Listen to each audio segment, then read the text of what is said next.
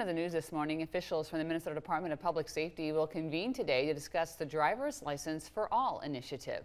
Governor Tim Walz signed a bill back in March expanding access to driver's licenses. So starting next month, all Minnesotans will be eligible for a standard Class D driver's license regardless of immigration status.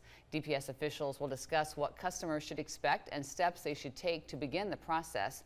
State officials hope the new law will help increase equity and expands access to resources and services for more than 80,000 people across the state.